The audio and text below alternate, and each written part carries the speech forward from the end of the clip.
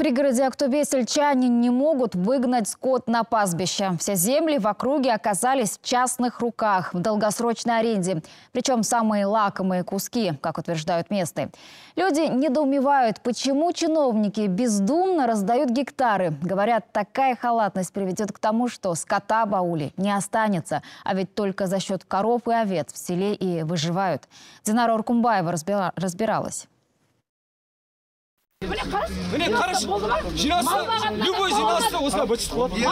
У жителей пригородного села Урлеу не выдерживают нервы. Главный их заработок – это скот. Благодаря коровам и овцам они кормят семьи. Но теперь могут лишиться этого источника. Домашние животные остались без выпаса. Все это результат необдуманных действий сотрудников Акимата, уверены сельчане. Людям негде скот пасти. Вот эту землю, если перегородят, там я вам сейчас покажу. Здесь недалеко от нас карьер выкопали, там уже ужас какой.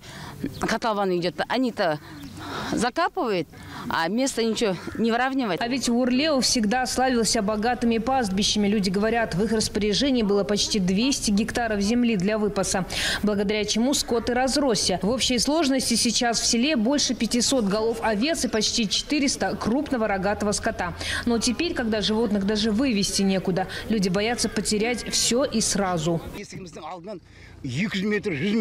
Всего в 200 метрах от дома землю отдали в аренду. Даже телят невозможно во двор выпустить. Сразу прибегают охранники и начинают права качать. Мол, на частной территории нельзя.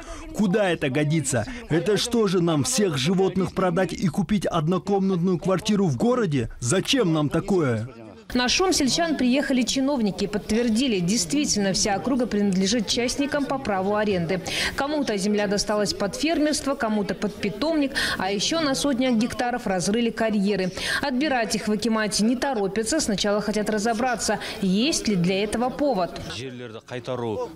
Сейчас идет процесс по изъятию земель, которые используются не по целевому назначению. Но это решение принимает специальная комиссия. Она должна определить, насколько законно выдана земля. Получат ли обратно сельчане свои пастбища, чиновники точно сказать не могут. Они лишь отметили, что сейчас решается вопрос по одному участку. Если выяснится, что 80 гектаров попросту простаивают, их вернут в Госфонд. В целом чиновники планируют изъять по городу 7 тысяч гектаров неиспользуемой земли и их отдать под пастбище. А пока придется выводить скот на свободные земли за десятки километров от дворов директоров. Динара Уркумбаева, Данияр Маткулов, КТК, Актубе.